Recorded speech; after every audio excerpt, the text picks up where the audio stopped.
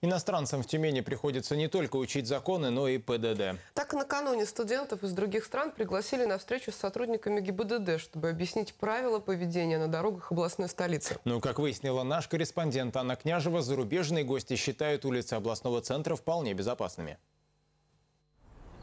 Вьетнамский абитуриент Тиен в России всего три месяца. Он пытается выучить язык, чтобы поступить в Тюмгу на юридический. Кроме погоды, Тюмень почти ничем не отличается от его родного города Ханоя.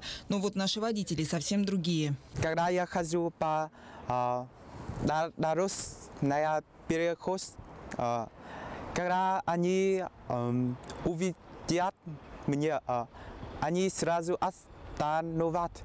Они не... Э, отправлять э, хотит.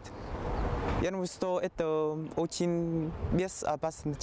Такое отношение к пешеходам удивило и курсанта Твику Саеда Амини. В афганском городе Тахар, откуда он родом, такая любезность – редкость. Но все-таки кое-что общее между водителями двух стран студент нашел. Обычно со стороны э, богатые люди нарушаются правила. Когда происходит какой-то, ну, богатые люди, особенно, у кого есть хорошая машина, хорошая машина, он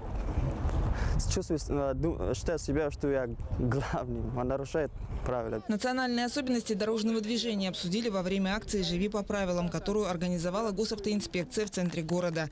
Иностранные студенты на своем языке написали призывы соблюдать ПДД, сделали селфи и выложили фотографии в соцсети. Обсуждение продолжилось за круглым столом. Во всем мире у нас происходят дорожно-транспортные происшествия с участием молодых участников дорожного движения. Именно поэтому мы позвали иностранцев, чтобы они рассказали, как у них них молодые люди соблюдают правила дорожного движения, как у них организовано движение, чтобы у нас уже в области провести хорошую такую кампанию социальную «Живи по правилам». В акции приняли участие около 40 студентов из 15 стран. Домой они привезут не только знания, но и впечатления о Тюмени, городе, где пропускают пешеходов.